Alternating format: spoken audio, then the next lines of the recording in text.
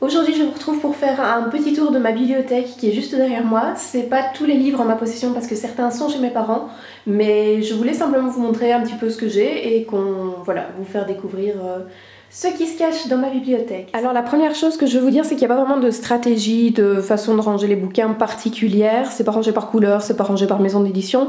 C'est euh, comme, euh, comme j'en ai envie. Voilà. Je commence avec l'étagère du haut où il y a juste deux bouquins pour le moment. On a La Chambre claire de Roland Barthes que en fait j'ai dû acheter pour mes études et c'est un des rares essais que j'ai bien aimé. Je lis très peu d'essais, j'aime pas trop ça. Peut-être parce que j'ai dû en lire trop pour l'école et que ça me paraît être une corvée.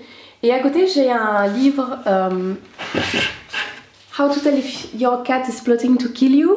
C'est mes anciens collègues qui me l'ont offert et euh, c'était. Euh, franchement, c'est comique, donc je l'ai massé. Vous verrez que j'ai d'autres livres sur les chats. Je sais pas pourquoi c'est le, il est pas avec les autres, mais je pense que c'est simplement qu'il n'était pas à la même taille. Sur l'étagère suivante, vous voyez avant tout, je pense, la saga Eragon, c'est une saga que j'ai lue quand j'étais enfant slash adolescente et que j'aime beaucoup. Je pense que je la relirai euh, prochainement, un de ces jours, mais j'avais vraiment beaucoup aimé. Vous voyez que le premier, je l'ai euh, un peu saigné. Les suivants sont en meilleur état, mais euh, le 1 et même le 2, je les ai un petit peu, je les ai un peu saignés. J'ai aussi Heartless de Marissa Meyer. Ça, c'est un... Comment C'est une réécriture de conte, c'est sur la reine de cœur et je l'ai bien aimé même si j'ai trouvé qu'il y avait des petites, euh, des petites faiblesses mais globalement j'ai beaucoup aimé l'ambiance et je trouvais que le, voilà, la façon d'écrire m'avait complètement immergée dans le truc donc j'ai trouvé ça très chouette.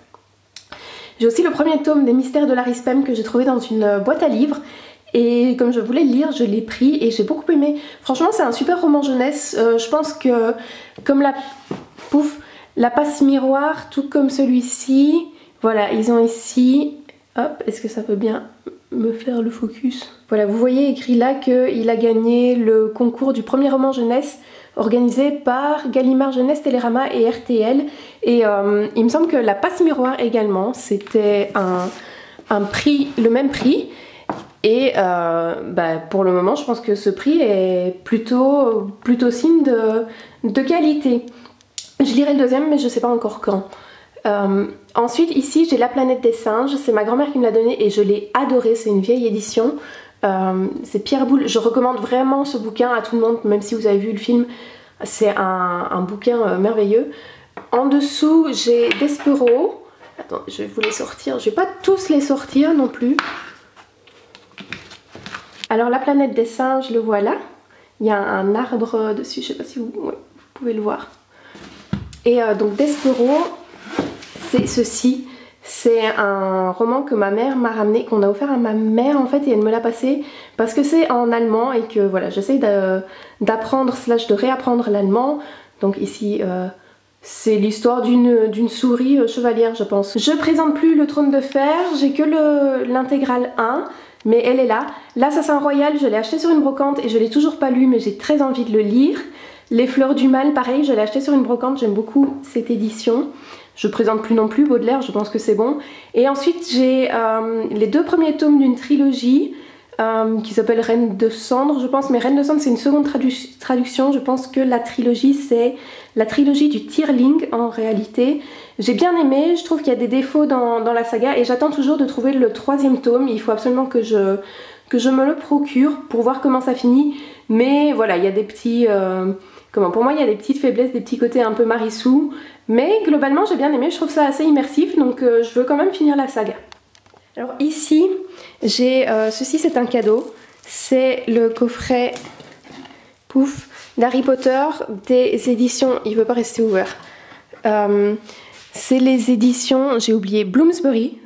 Voilà, c'est le coffret en anglais, les hardbacks. J'arrive pas, euh, je vais pas frapper dessus. Mais je les trouve vraiment magnifiques. Je vais prendre celui-ci pour vous montrer. Je trouve cette édition absolument superbe. Regardez celui-là. Vous avez dû les voir partout sur Instagram. Je pense à un moment, ils étaient... Il y a un moment où ils étaient euh, énormément sur Instagram. Moi, je les trouve superbes. Euh, c'est pas illustré, mais par contre, en début de chapitre, vous avez voilà, une petite mise en page avec des petites étoiles. Et le, coffret, le coffret est superbe, quoi. Il, manque le tome 2. C'est pas parce que je l'ai perdu ou quoi que ce soit. Il est sur ma table de nuit. Et voilà, il se referme avec euh, un petit aimant, c'est trop mignon. J'ai une Funko Pop ici et, euh, une carte que j'ai achetée à Londres de Minalima, donc on est, voilà, tout ça c'est Harry Potter. À côté, j'ai la saga La Passe Miroir que j'ai beaucoup aimé. Il manque les tomes 1 et 2 parce que je les ai prêtés à ma sœur qui les a lus pendant le confinement. Et maintenant, je voudrais lui passer les 3 et 4 parce que comme moi, elle les a dévorés. Mais la pauvre, il va falloir qu'elle attende avant de les enchaîner. Euh, je, lui passerai à la fin du confinement. Et euh, je peux seulement imaginer sa frustration d'avoir fini le 1 et 2, de les avoir dévorés et de se retrouver euh, sans les 3 et 4. Ici, voilà, euh, quelques, quelques bêtises. Euh, j'ai des carnets de croquis, une palette de maquillage, un parfum, c'est pas... Voilà. Ici, je garde les BD. Alors, j'ai beaucoup plus de BD, mais chez mes parents. J'ai euh, Les Cavaliers de l'Apocadispe. Celui-là, je... De l'Apocadispe. Oui, c'est ça, de l'Apocadispe. Vraiment, c'est pas ultra connu, mais je le recommande à fond. Cette BD, je la trouve vraiment très drôle. Je l'ai découverte dans Spirou et bon, ça dépend un peu de votre type d'humour, mais si vous aimez un peu l'humour par l'absurde et les trucs un peu, euh, voilà, un peu con, on peut le dire, c'est vraiment, c'est génial. Et celui-ci, je l'ai acheté euh, à la foire du livre, non, à la fête de la BD de Bruxelles. Oula, voilà, c'est dédicacé par Libon. J'avais déjà eu une dédicace de Libon, c'était dans Animal Lecteur. Euh, une autre BD qui était publiée dans Spirou, parce que voilà, ma famille, on est abonné à Spirou. Et je me rappelle que je lui avais demandé quand les Cavaliers de l'Apocalypse sortiraient en BD. À l'époque, il savait, savait pas si ça, si ça se ferait et quand ça se ferait. Et maintenant, il y a déjà deux tomes, donc euh, voilà, je vous, recommande. Puis à côté, je garde les, les, magazines de chez Deleuze avec toutes leurs recettes. Je trouve que leurs magazines sont ultra bien faits et c'est super inspirant, donc euh, je garde les, magazines Deleuze.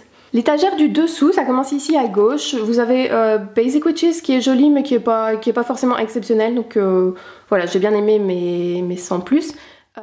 Ici moi-même qui vous parle depuis le futur, en faisant le montage de la vidéo, j'ai réalisé qu'il me manquait quelques secondes de rush pendant lesquelles je vous parlais de The Surface Breaks de Louise O'Neill, qui est une réécriture de La Petite Sirène.